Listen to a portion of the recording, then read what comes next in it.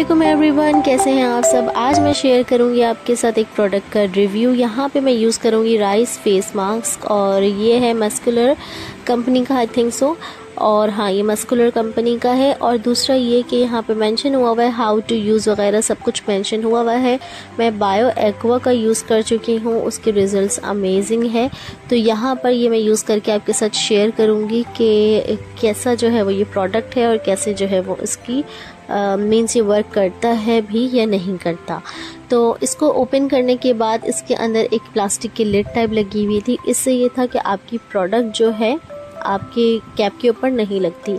और अंदर जो है एक स्पैचुला मौजूद था यूज़ करने के लिए। एक तरह से हाइजीनिक है मीन्स के आपको फिंगर की ज़रूरत नहीं है फिंगर डाल के अंदर से निकालने की ज़रूरत नहीं, इस तरह का ये आपके पास मौजूद होगा और इसकी मदद से आपने अपना प्रोडक्ट निकालना है और अपने फेस पे अप्लाई करना है। फेस जो है क्लीन कर लें मीन्स फेस वॉश वगैरह आपने यूज़ कर लें पहले।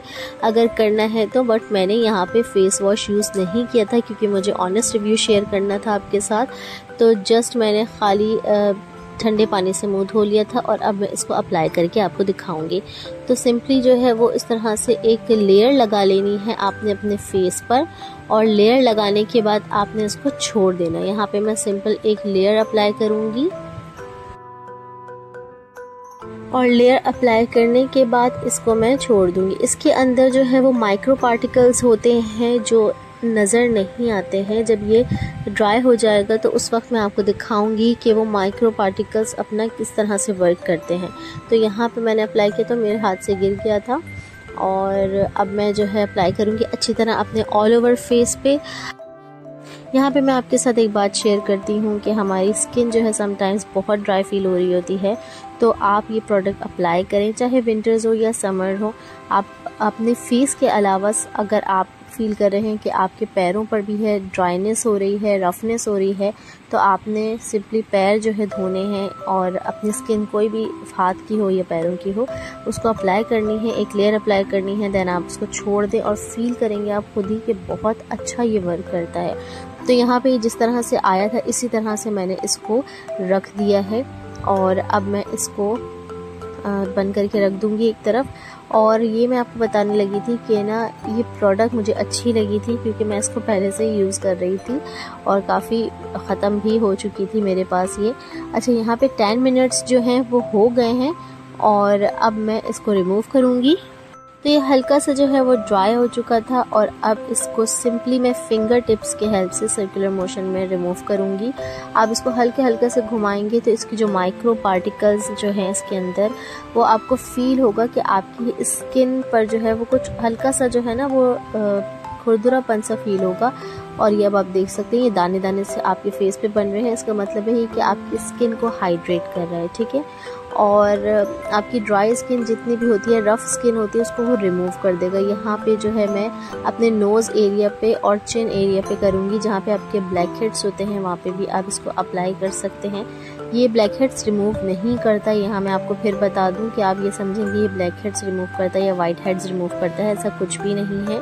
ये सिर्फ़ आपकी स्किन को सुपर सॉफ्ट बना देता है और जो है वो काफ़ी सॉफ्ट प्लम्पी सी स्किन हो जाती है आपकी और आगे मैं शेयर करूँगी, काफ़ी शाइन भी आ जाती है आपके फेस पर और काफ़ी हाइड्रेट हो जाती है स्किन यानी कि आपको ड्राइनेस भी तो जब भी आप कोई भी प्रोडक्ट अपने फेस पे यूज़ करें तो हमेशा हल्के हाथ से अप्लाई करें और अगर उसे रिमूव करें, तब भी हल्का हाथ इस्तेमाल करें, क्योंकि अगर आप रगड़ते हैं कोई भी चीज़ अपने फेस पे अपने हाथों को ही आप रब करते हैं तो इससे ये होगा कि आपके पोर्स ओपन हो जाएँगे और पिंपल्स निकल सकते हैं और फेस जो है वो आपका डैमेज हो सकता है तो इसलिए आपने हमेशा हल्के हाथ से हर चीज़ अप्लाई करनी है। यहाँ पे मैं रिमूव इसको कर चुकी हूँ और बहुत ही हल्के हाथ से मैंने किया था। रगड़ना नहीं है अगर आप समझ रहे हैं कि रगड़ने से बिल्कुल चमक जाएगा चेहरा ऐसा नहीं होगा बल्कि उल्टा जो है वो नुकसान उठाना पड़ेगा। मुझे ये अच्छा लगा था। ऑनेस्ट रिव्यू मैं आपके साथ शेयर करी। मेरी स्किन बहुत ड्राई है उस हिसाब से मेरे लिए ये बेस्ट है। फेस जो है मैंने सिर्फ़ नॉर्मल पानी से वॉश किया है और अब मैं इसको आ, जो है वो ड्राई कर रही हूँ। तो यहाँ पे मैं टिश्यू के हेल्प से जो है फ़ेस को अपने ड्राई कर लूँगी। सिर्फ़ टैप करते हुए ड्राई करना है अपने फ़ेस को। और क्लोज़अप दिखाऊँगी मैं। ये देख सकते हैं आपकी स्किन कितनी जो है वो सॉफ्ट और क्लीन लग रही है। और जब स्किन ड्राई हो जाएगी थोड़ी देर में जो है हल्की सी जो है वो शाइन आ जाएगी आपके फ़ेस के ऊपर।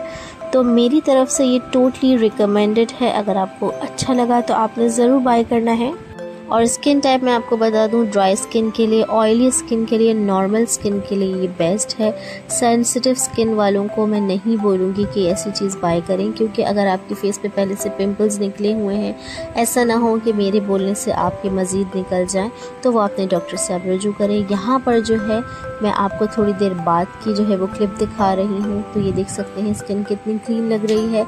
तो यहीं तक की वीडियो अच्छी लगी तो लाइक ज़रूर करना है शेयर करें। Thank you so much for watching my video.